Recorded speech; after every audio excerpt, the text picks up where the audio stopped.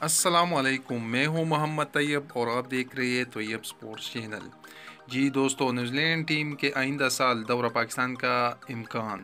جنوری دو ہزار اکیس میں نیوزی لینڈ سے ہوم سیریز میں دو ٹیسٹ اور تین ٹی ٹوینٹی میچز کی میزبانی کے لیے پر امید ہے۔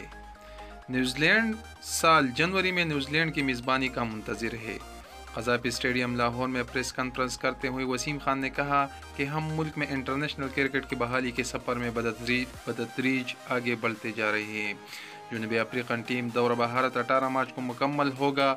روٹین طویل سیریز کے بعد زیادہ سفر نہیں کرنا چاہتے، اس لیے تینوں ٹی ٹوینٹی میچز کے لیے راول پنڈی کی موضوع وینیو سمجھا جا رہا ہے۔ دونوں بورڈ میں بات چیت مثبت انداز میں آگے بڑھ رہی ہے۔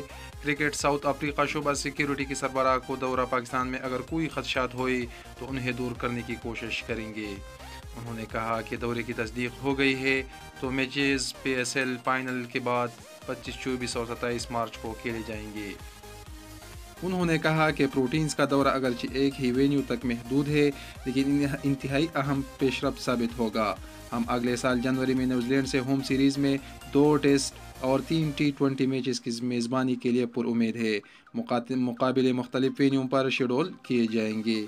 ایک سوال پر وسیم خان نے کہا کہ موجودہ حالات میں بھارت سے باہمی کرکٹ کے امکانات نظر نہیں آتے۔ تاہم مستقبل میں بہتری امید کر سکتے ہیں۔ دونوں ملکوں کے عوام روایتی حریفوں کو ایکشن دیکھنا چاہتے ہیں۔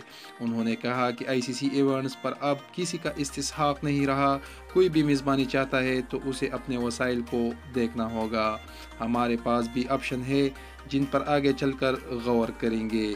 جی دوستو، تازہ ترین اپڈیٹس اور خبروں کے لیے طیب چینل کو لائک کریں۔